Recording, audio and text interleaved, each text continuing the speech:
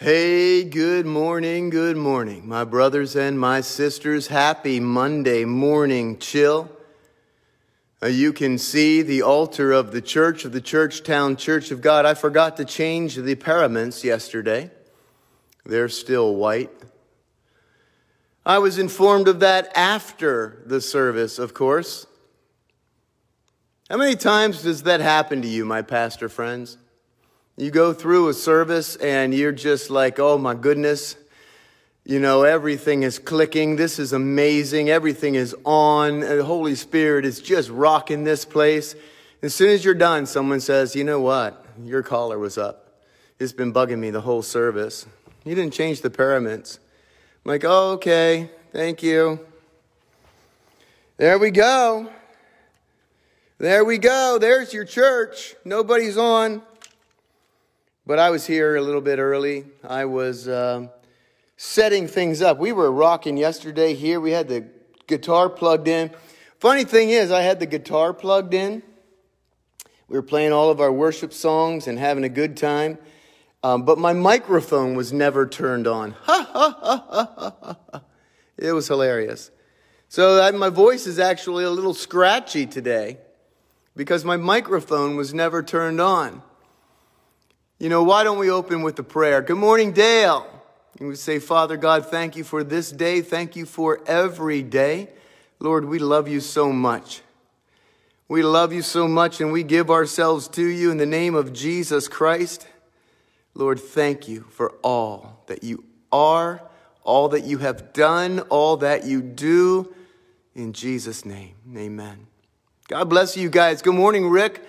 I hope you're doing well. Missed you yesterday. So many people, including so much family with this crud. The crud. Is there another name for this stuff than the crud? The crud.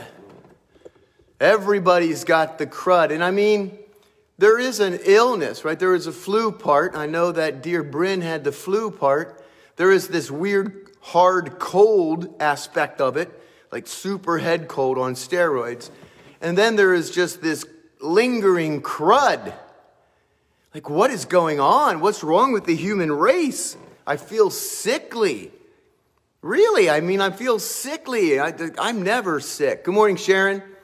Um, but no, I actually don't feel bad. I just have this crud still. Good morning, Rick. How are you feeling? Is everybody doing okay? I'm just looking at everybody, saying hello to everybody. We had quite a morning yesterday, as I indicated. Quite a morning. And no, the person, the person who told me about the paraments um, was my wife. She after the service. I told you to change them. I'm like, honey, why? You can change them. I, I got a lot on my mind. You know what I'm saying? Uh, especially when, because I really wanted to. This was not a burden in any way, shape, or form. I really wanted to play the guitar and help lead worship. Uh, it's been a long time, so I was up here banging away on the guitar. But that's a lot, right? When you're you've got the scriptures and you've got your sermon and you've got all of the you know things that people have said to you leading up to the church service, uh, the various prayers and prayer requests and where everybody is that day. I don't know what it's like in your context, but I I like that. Like people you know, my Saturdays and Sundays, I get a lot of messages. Pastor, you know, here's where we are, here's what is happening. Sometimes it's, hey, we've decided to take a couple days, so don't worry about us. You know, we're dra- traveling or, you know, we're not well. And I like that. the crud. So, you know, there's a lot going on. Um, and I didn't change the colors up there. So, hi, Liz. But we did talk about, we've been talking about some interesting uh, topics here at Churchtown. Um, you know, there, there has been a preaching element of every week. And that preaching element, you know, doesn't change, right? The life, the death, the resurrection uh, of Jesus Christ, our Savior and our Lord. The kingdom of God on earth, now the kingdom of God to come. Preach it. But there has also been then this teaching element that has been very strong these past few weeks. And the, the premise has been as we talk about here all the time. What do we believe and why do we believe it? And I am just convinced that in the church today, we've got to go there and we've got to go deeply into God's word. And people who attend church regularly should understand not only what they believe, but why they believe it. That is when discipleship happens. That is when evangelism happens. Good discipleship and good evangelism. We read all throughout scriptures. One of the points that I made yesterday was that we read these letters of the New Testament, and really, uh, oftentimes, good morning. Really, in the back of our minds, we're thinking, that's not us, that's them. Well, the first thing that we may think is that it doesn't relate to the church. Stop. They're written to churches. Okay? And then still we're thinking, well, that was then, this is now, that was them, it doesn't apply to me.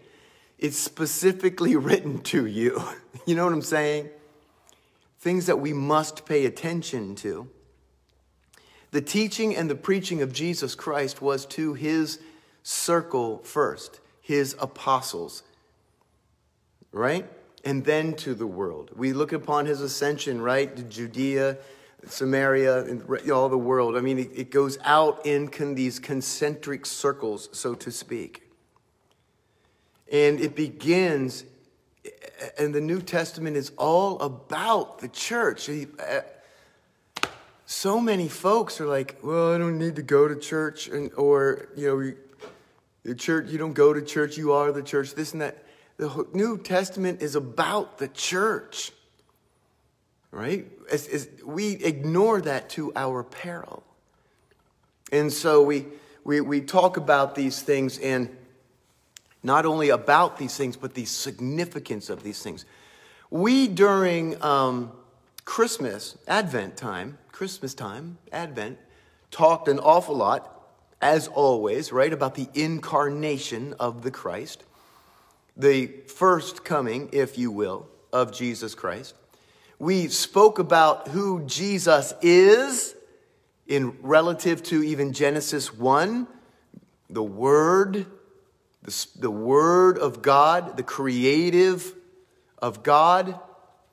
Um, you notice I didn't intentionally add a noun to that because what do you say? But He's the creative of God. God speaks and things come into existence. We know this and we learn this in John 1 when the Word was God, and the Word was with God, and the Word was God, and through Him all things were created. Without Him nothing was created. All of that stuff. And then the Word, this creative, became flesh and dwelt among us. So we, we talked an awful lot about that. And we talked an awful lot then the last couple weeks of Advent about the second coming.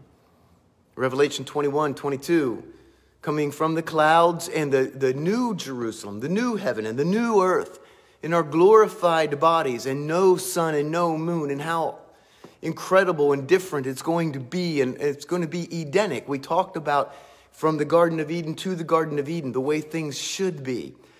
and so last week we kind of filled in the blanks. And we talked about Matthew 24, Acts chapter 1. Barbara, if you check in later, thank you for that. It's in Corinthians, it's in Thessalonians, it's all over the place about what will happen and what it will look like when Jesus comes again. And we talked about our Christian worldview that this is not end times, this is a transitional period. The old dies. I mean, we see this through the cycle of life, we see this through the life and times of Jesus Christ, we see this through right? Old Testament to New Testament, Old Covenant to New Covenant. We see this over and over and over again. The old will pass and the new will come. So, yes, it is the end of history as we know it, the end of time as we conceive of it, the end times for humanity as humanity has been on this planet. But it is this transitional period, if you will. Will it be sunshine and roses? I don't think so. Not looking like it. But as we've learned through Scripture, those who are faithful will endure. Right? And we see that, uh, you know, we, I made a few points, shockingly enough, in the sermon yesterday. But, you know, one of the major, one of the major is those who remain faithful to the end will be saved. How about that for one of those statements that is only six inches wide and eternity deep? So, you know, God in His wisdom and through His wisdom tells us point blank, and this is where we often, I think, as human beings, we, we sort of want more. We want a big 380 page book of God's theology, you know, so we can parse it and we can do all of these different things. He simply says, he gives us an outline, no, uh, information. He gives us not an outline or a timeline, but he gives us information about how we will experience this. And not everybody will experience it the same way. But there are a few things that we can take away. One, we don't know the time or date. Two, when Jesus Christ does return, we will know it. It says, don't go looking for him over here or listening, oh, I'm over here you, there will be no doubt. So, one, we don't know when it will happen. Two, when it does happen, there will be no doubt. Right? Three, when it does happen, there are a variety of different things that humankind will experience the rise of evil, the rise of uh, temptation and accusation through Satan, who is going to fight like crazy trials and tribulations and persecution and all kinds of different things for those who are remaining faithful. and for those who remain faithful, you will be saved. That's like, that's it.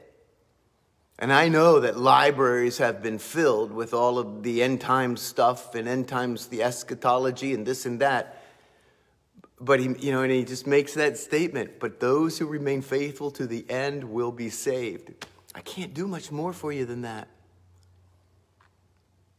The question, I guess, is how do you remain faithful? Well, you remain faithful in your prayer life. You remain faithful in your time with the Word. You remain faithful in your committed relationship to God through Jesus Christ. How do you do that? That's, you, you know how to do that. You know how to do that. So it's important. Scripture is full, and Jesus' teachings are full of, you know, keeping the light on, keeping oil in the lamp, being vigilant. You know, he says, Good morning, Michelle. If you knew that a burglar was breaking into your home at a certain time, you would be there to defend it. So be ready anytime. Jesus himself teaches do not fear one who can ca- kill your body. Fear the one who can kill body and soul and cast you into hell. Oh, we don't want to preach that in the churches, man. Not too many people will come. Then so be it. You go and preach what you need to do. You go and preach your best life now. You know, hell is lined with people that have good intentions but did not live the truth. You know? So there we go. Woo! How about that for Monday morning chill? Give you something to think about? I hope so. I think we need something to think about. I think we need something to pray about. I think we need to understand the significance of the word more and more and more through this journey I have been on. It and I know this sounds naive, but it comes back to the Word, the Word, the Word, the Word of God, Word, the spoken Word. You know, and even the Word of God is full of the, about the Word of God, preaching and teaching the Word of God, having the Word of God, reading, studying, interpreting, understanding the Word of God. When we look in the Word of God, we see the creative of the Word of God We see Jesus Christ as the Logos, the Word of God, the Word, Word, Word. Boom, boom. I'm being bombarded with that. And you just get there. You open your Bibles and you get there and you stay there.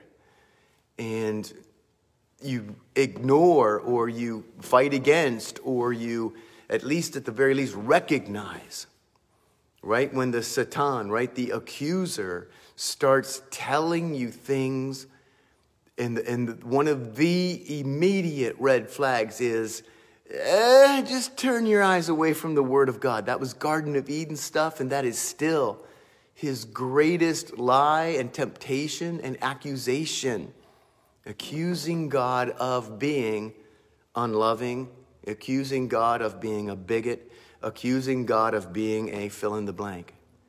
The accuser. And we watch churches, hello, United Methodists, just divide over it. And Satan is just like, yeah. Let me wreck this place from the inside out, baby. And it just makes you weep. Oh.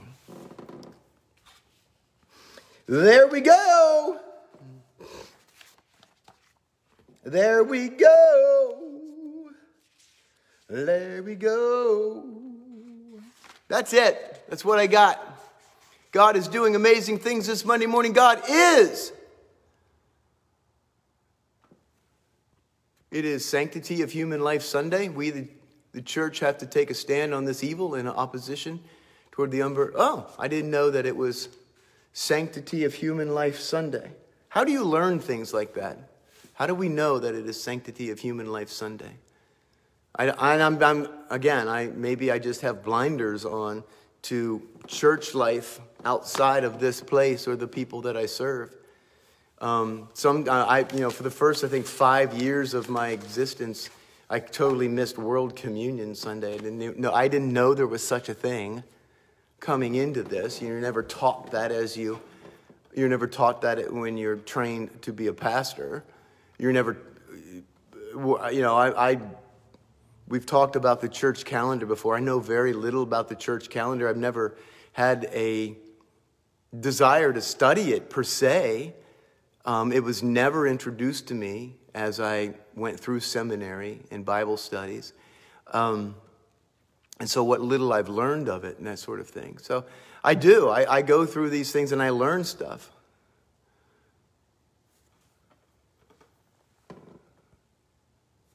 Okay, well,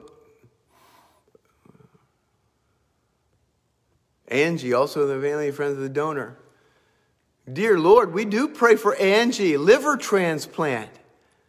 Oh, Lord, you're working through modern science. Michelle knows that as well as anybody. And Lord, thank you for this opportunity for Angie. May you just bless both, all parties involved. Give them the sense of peace. Lord, bring them into health. In Jesus' name, amen. Yeah, that's that. Oh, well, there you go. That is probably how it has evolved. It evolved. Um, I don't know, Logan. Uh, we're not going to be doing anything uh, uniquely special for that. Um, we kind of preach that every week or as often as the opportunity arises when we talk about what it means to be a healthy human and to understand healthy human decisions, healthy human sexuality, what it means to be healthy human relationships, those sorts of things. The sanctity of human life, I preach, of course, we take every that we take every Christmas and Advent season. Mary, hope you're feeling better. Christmas and Advent season to preach the sanctity of human life. You've heard me preach that before. Um, if you are a Christian and you believe that abortion is okay, then uh, you know there's obviously so much. But I mean, you're you're you're believing, or you say, well, because it's not really a human being until second trimester, third trimester, viable outside of the womb, whatever your rationale may be. It's not really a human being until you say so, is really what it amounts to. Then you're saying that Jesus Christ, there was a time when Jesus Christ was not a human being. Scripture teaches us otherwise. He was 100% human, 100% divine.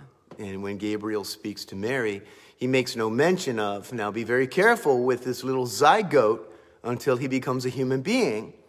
Then he will be Jesus. No, it doesn't work that way. He's Jesus from the moment that those cells divide.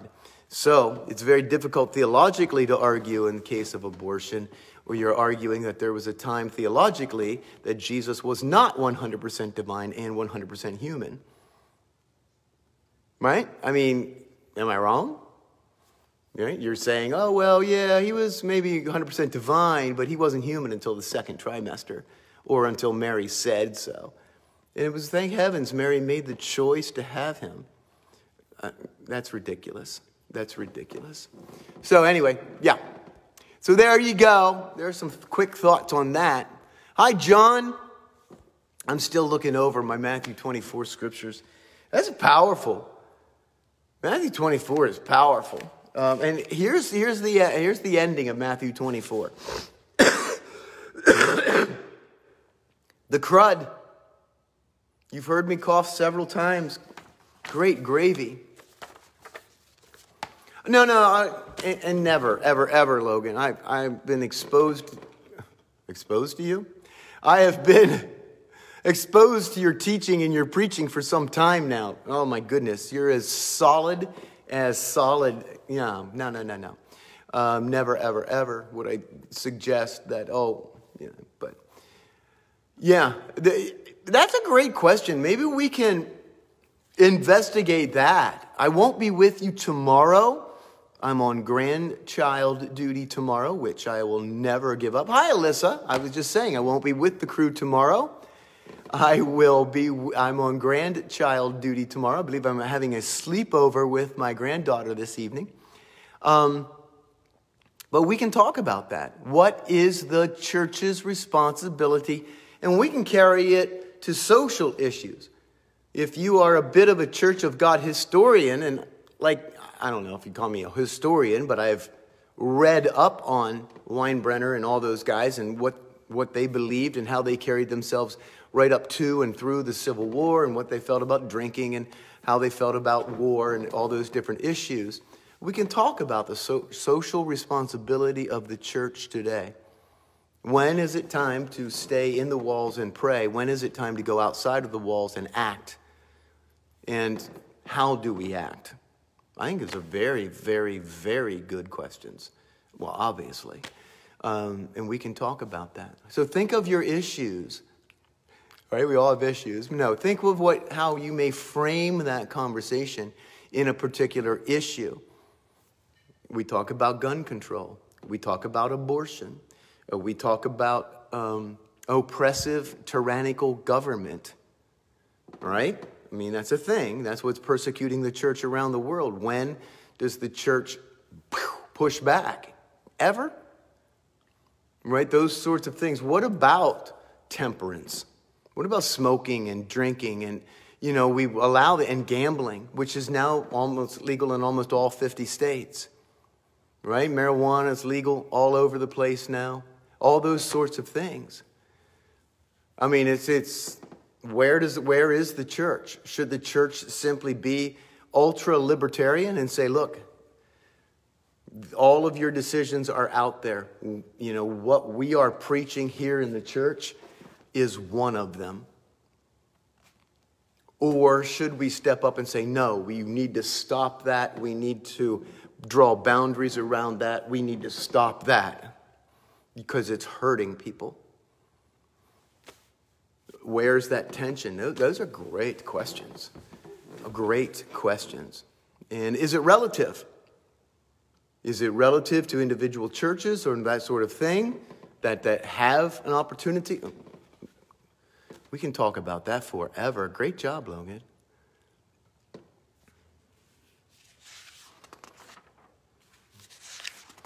I want to read this to you.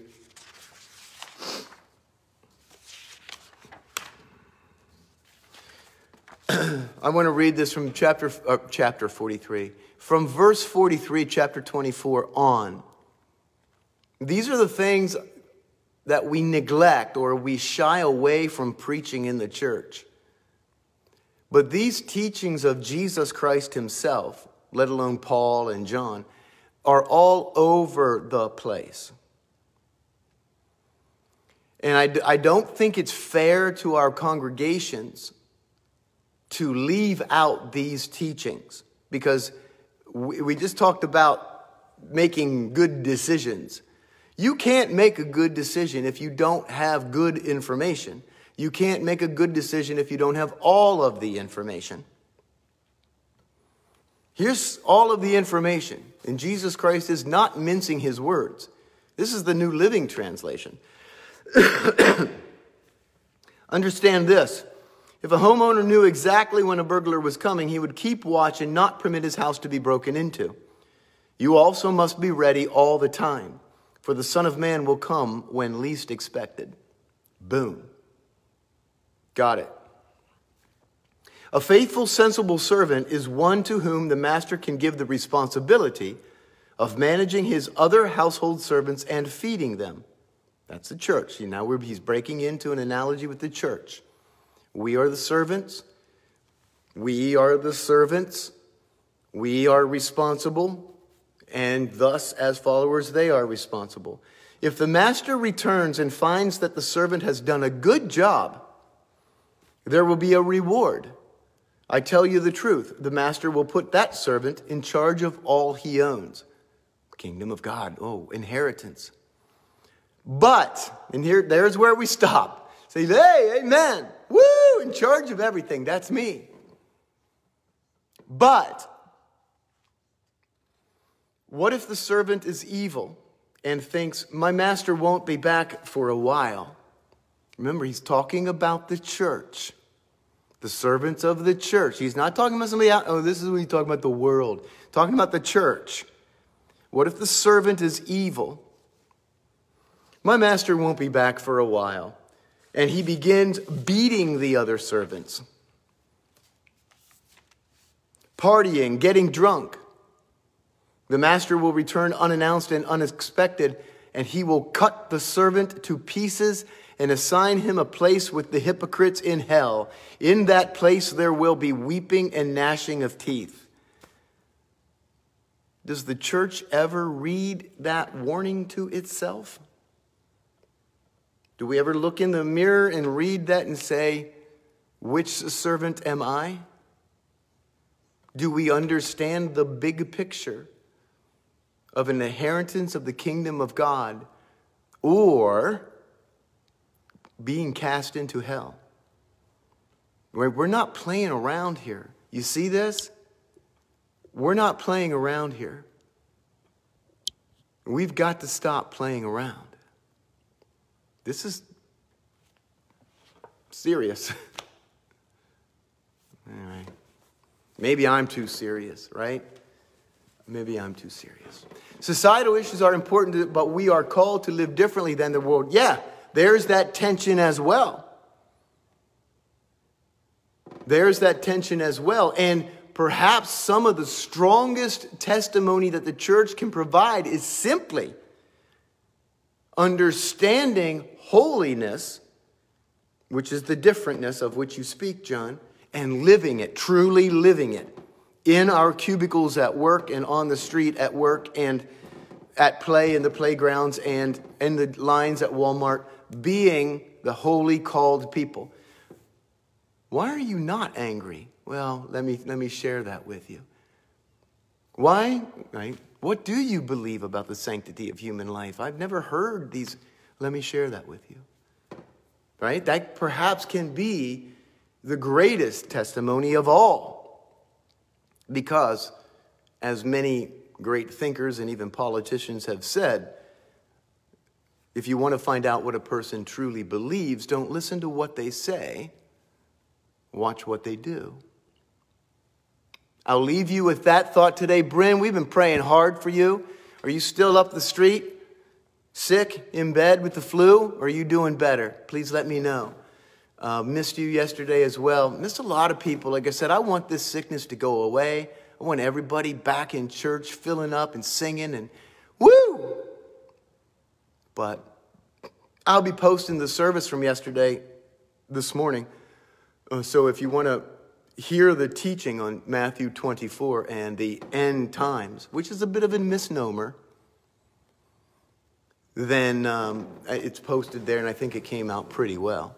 So, hey, Mary, just getting ready to check out. It's good to hear from you this morning. Talking about it, this is a good conversation this morning. Very good conversation this morning. Exactly. Boom. I mean, that is, that is exactly it. And that saying that we, we kind of throw around probably applies most dramatically and most powerfully to the church, Orthodox Christianity. If you want to find out what this church, this pastor, this board of elders truly believes, don't listen to what they say, watch what they do. Right? Now, we understand as Christians we're called to do both, but see, you had to go to work today. Oh my goodness, you sound like so many other young people that I know that you just you just pound away at work, and uh, I just pray that you're better. That's not a criticism. That's a good thing. I mean, with the work ethic and all of those that stuff, I guess. When you get older, that changes a little bit. Like, ah, no, I, the world will keep on spinning. Uh, I'm sick. So, God bless you guys. I love you. Father God, thank you so much for this church. Thank you so much for your word. Thank you so much for these thoughts that are coursing through us. Lord, may we look in the mirror every single day. May we look in the mirror every single day, Lord, and understand who we are in Christ. That's what matters. In Jesus' name. God bless you guys. I will talk to you for Wednesday morning word. Amen.